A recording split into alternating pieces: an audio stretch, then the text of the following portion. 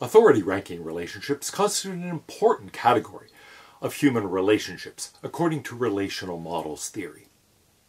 Relationship regulation theory is the normative extension of that theory to moral psychology. It suggests that the motives, emotions, reasons, the norms, the principles we use in thinking about what to do and what kind of people to be are shaped and really depend on the character and the model we use in our human relationships. So it matters whether we're in a communal sharing relationship, an authority ranking relationship, an equality matching relationship, or a market pricing relationship. We're going to have different motives, different reasons, different intentions, different emotions, different principles that govern us. We're going to claim different rights, different responsibilities, all depending on the nature of the relationship involved. Well, today I want to focus on authority ranking relationships.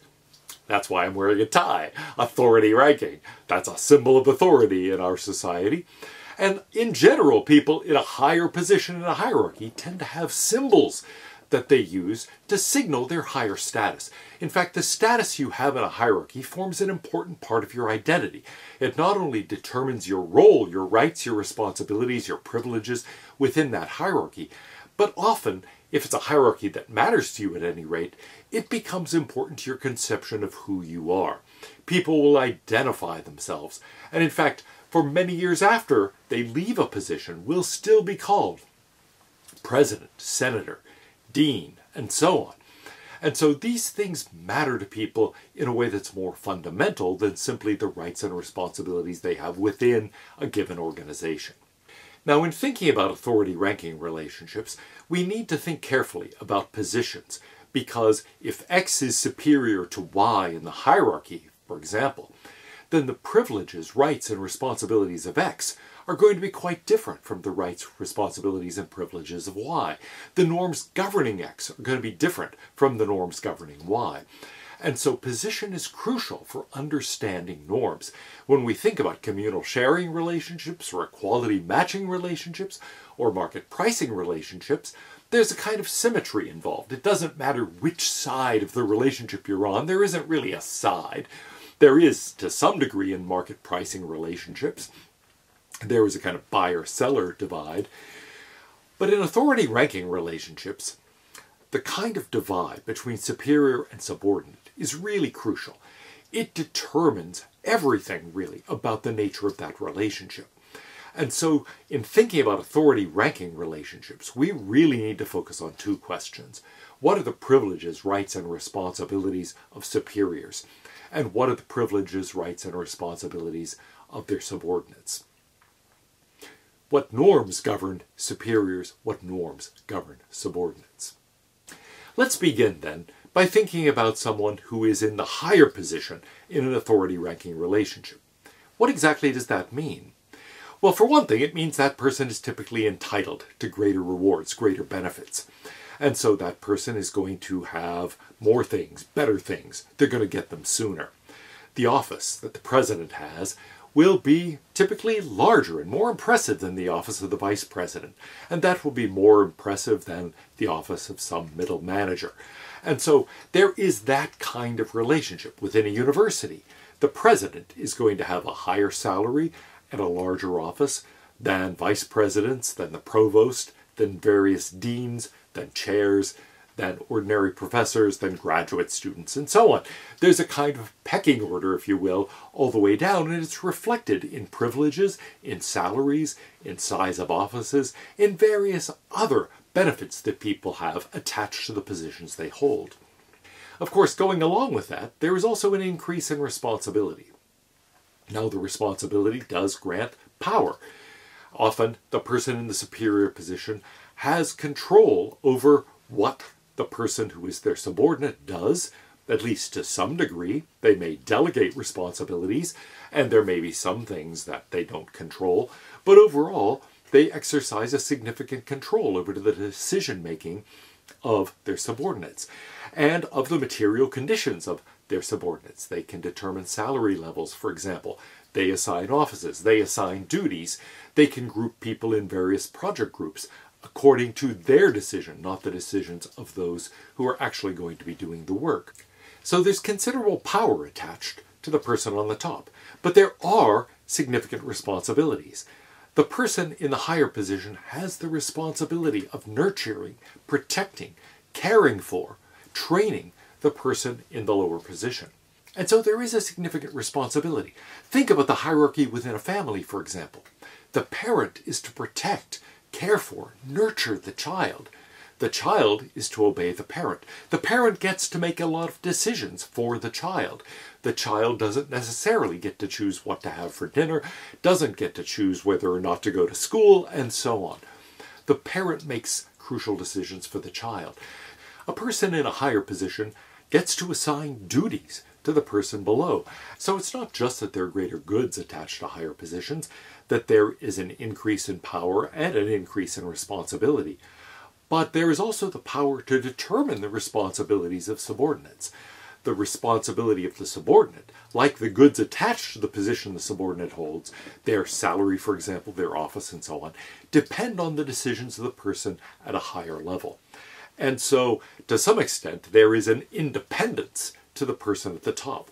Plato considered the question of why a good person would actually want to lead, why they would want to be in a position of power. And the answer is they fear the control of people who are worse than they are.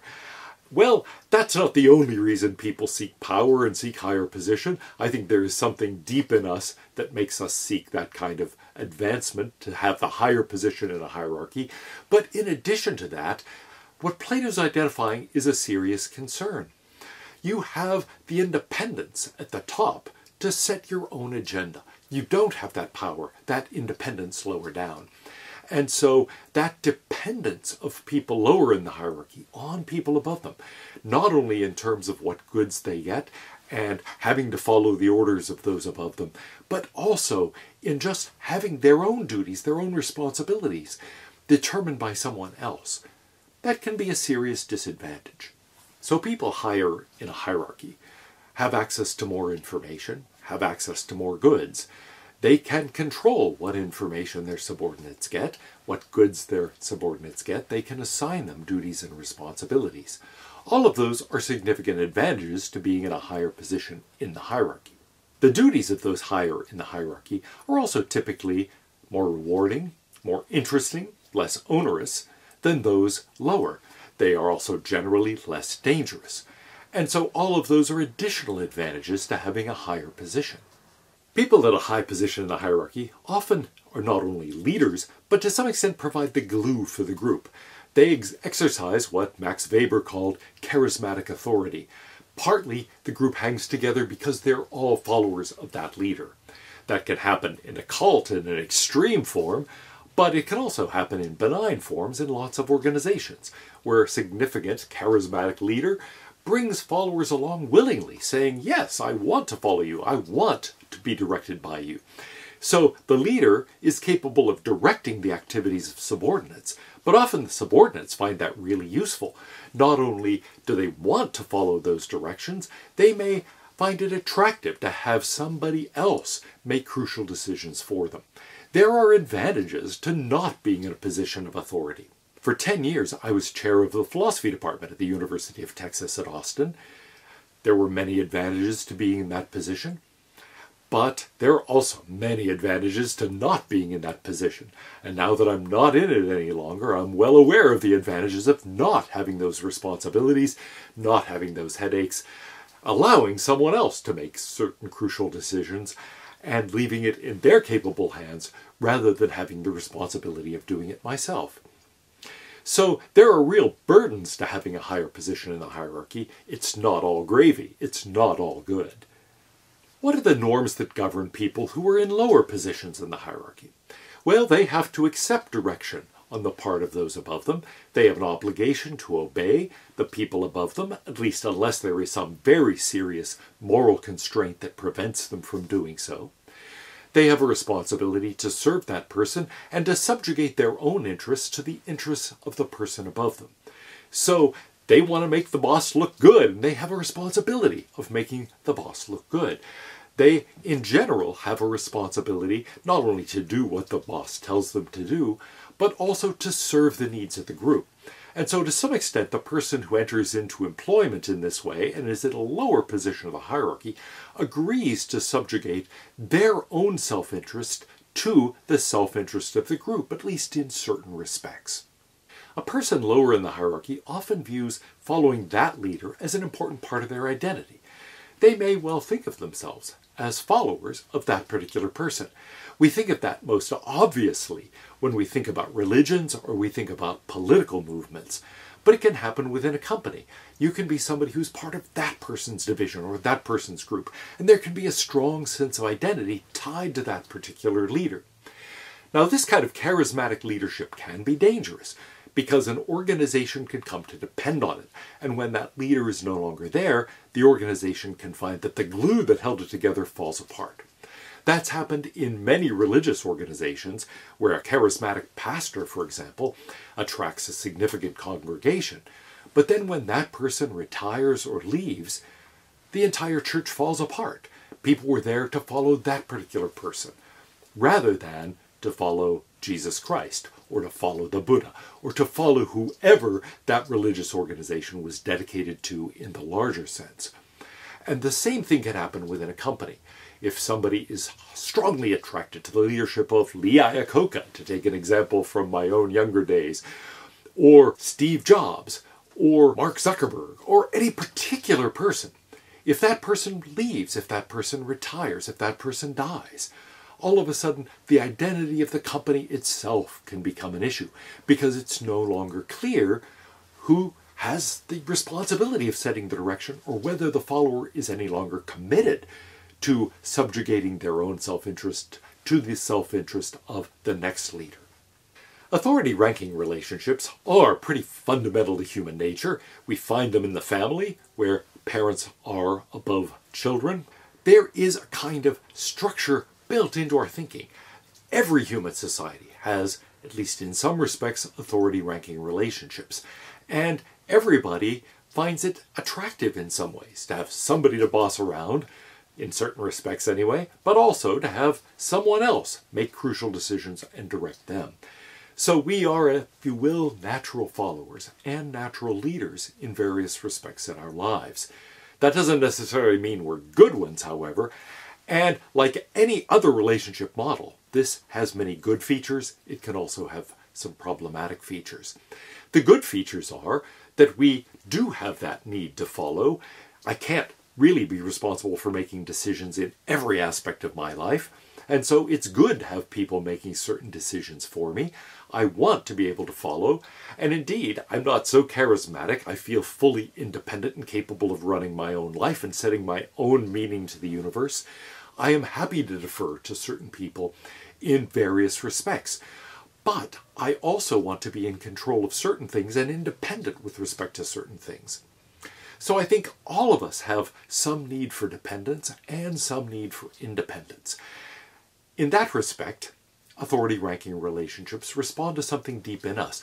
But it's more than that. As soon as an organization becomes very large, as soon as it becomes very complex, we have to organize things hierarchically. We cannot simply take a thousand people, let's say, turn them loose in a factory and say, well, do whatever you feel like doing. Somebody's got to set a production schedule. Somebody's got to assign tasks. Somebody's got to decide who's going to do what and allocate resources so that those jobs can be done. Management is essential. And whenever we say organization, we say hierarchy. Organizations of any size and complexity entail hierarchies, and that entails authority ranking relationships. So these are essential to any complex human organization or to any complex human task. Authority ranking relationships, though, do have a downside. They can become brutal. They can go badly wrong. All we have to do is think about Jim Jones and Jonestown and realize, yes, cults can go desperately wrong. It may be that too much authority is exerted by the person who is the leader. It may be that the leader begins to do deeply immoral things, and the followers may feel a responsibility to follow. People can find themselves trapped in situations where they are in an organization where they've pledged to do what the leader tells them to do, and suddenly find themselves bound by conscience to diverge from that. It can create huge moral conflicts, and sometimes it can lead to real human disasters when people follow orders to do horrible, horrible things. In almost any authority ranking relationship, superiors are capable of punishing subordinates, and subordinates are not permitted in any way to punish superiors. In business organizations in the United States and in other developed countries, it is quite limited what a boss can do to an employee. But in many more traditional societies, it is possible for people higher in a hierarchy to inflict terrible, really brutal punishments on those below them. And it can even be a capital crime if that person has been insubordinate or has done anything to attack a superior. There's another kind of danger as well. People in higher positions in a hierarchy tend to realize that the same rules don't apply to them and can overextend that to allow themselves all sorts of moral exceptions. And so they can break rules that they would expect their subordinates to maintain. That's something we've seen throughout the pandemic, where political leaders impose restrictions on their subjects and then violate those very same restrictions. The mayor of the city I live in decreed that people should stay at home, and he made the order from Cabo in a video. but that isn't unusual. All sorts of governors have prohibited travel and then have traveled to visit relatives. They've prohibited family gatherings for Thanksgiving and then they've been together with their family. They have prohibited people from traveling overseas and then they've gone overseas. That kind of thing is something we're all too familiar with. Congress routinely exempts itself from the laws it passes. Part of Newt Gingrich's contract with America in 1994 was to stop Congress from doing that. And for a while, when we had a, the Clinton administration in office and a Republican Congress, that was actually the law of the land. But as soon as those conditions ended, boom, Congress went back to exempting itself from many of the laws it passes. That's not just true of political leaders, however, it can be true in business organizations. People can place restrictions on travel, on training budgets, and so on in hard times, and then they exempt themselves from that. They can also enforce rules in such a way that they are in a highly privileged position. In the company my wife worked for, someone at a lower position did all sorts of things that violated the normal expectations and indeed even the rights of other employees, including, for example, stealing people's lunches. But nothing happened to that person until he ventured up to the fifth floor, the executive floor, and stole people's lunches there. You can steal the manager's lunch. You can steal the division leader's lunch. Nothing happens.